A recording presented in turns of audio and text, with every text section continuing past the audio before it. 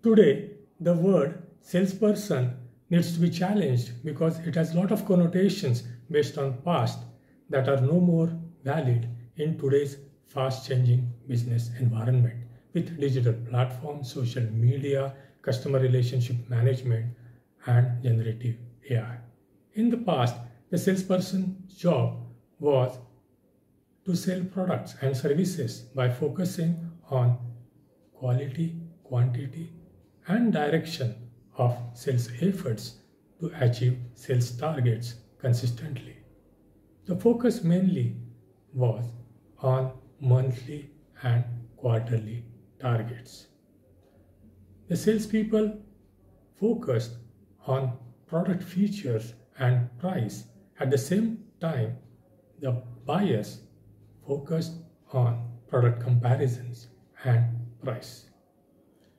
However, today, because of digitization, customers have sufficient information regarding the companies and products where they can make their own buying decisions without intervention of salesperson.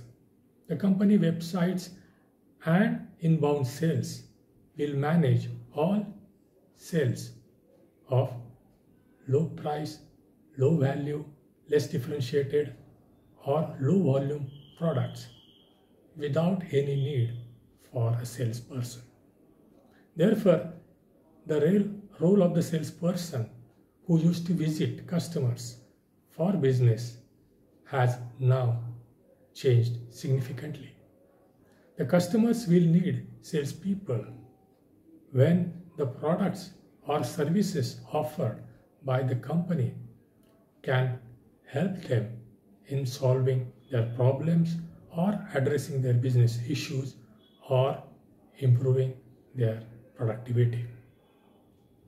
Therefore, the salesperson has to create the credibility and rapport with prospects and customer to make them engage with him for discussions.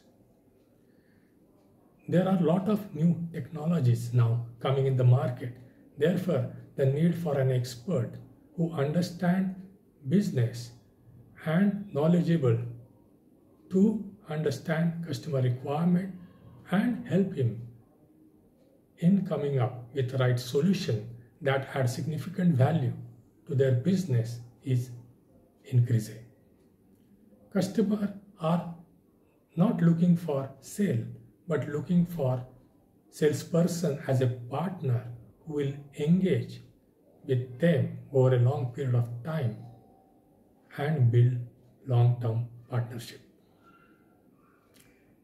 Now, the new salesperson is not only achiever of sales target, but he is an entrepreneur who understands all aspects of the business and help customers in achieving their goals. At the same time, he builds profitable and sustainable business for his company.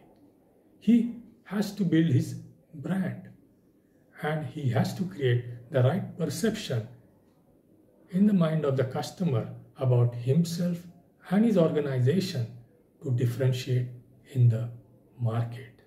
Remember, the buyers will now buy you first before they buy your company's products or services.